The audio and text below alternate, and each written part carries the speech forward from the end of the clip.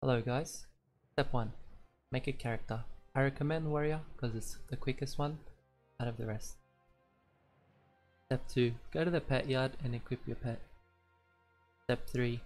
Find a decently crowded realm and level up to 20. Step 4. After you're done leveling, make sure to do some dungeons people call out in the chat so you can obtain some pots. After you're back in the realm, try to buy some gear from other players by typing in chat what you have up to offer. This will help increase the survivability of the character and as a result help us benefit greatly. After you're done buying some gear, make sure to do some more dungeons people call out in chat and we can use that to buy a weapon upgrade which will speed up the clearing process of dungeons. If you haven't already gotten an upgrade for your ability, make sure to buy one afterwards. If you have some pots laying around, make sure to vault them so you can use it for your next character if you were to die. Step 5. Now to rebuild we'll need 6 speed pots or 6 dexterity pots which can be obtained from the Sprite World or the Snake Pit respectively. Or magic woods, but that can be risky usually.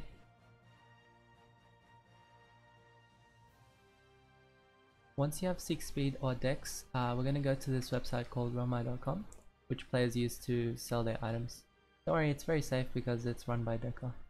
So basically, just put um, offers for people buying speed or dex uh, for a life pot, and if you're lucky, you're gonna find people like this that will sell um, life pots for six dex or speed.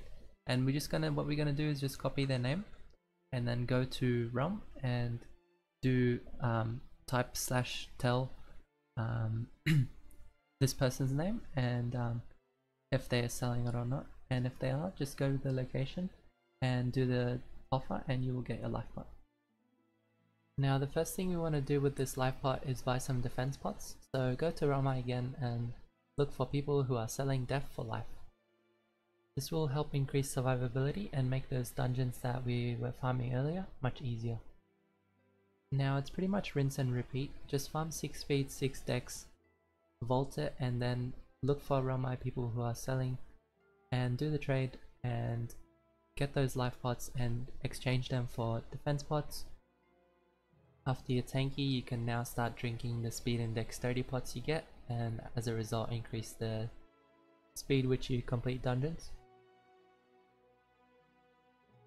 After you've maxed either speed or dex, it will now get easier as you can now store those pots and use those um, speed or dex to buy some more life pots and use those life pots uh, for buying other stuff like defense or attack or whatever else you need. But the main important thing is to max defense, speed and dexterity as those will be for survivability and just speeding up the process. Alright guys, I hope you enjoyed the video and this was somewhat helpful. If you guys want, I can make another video showing the progression and other tips you can use. Adios.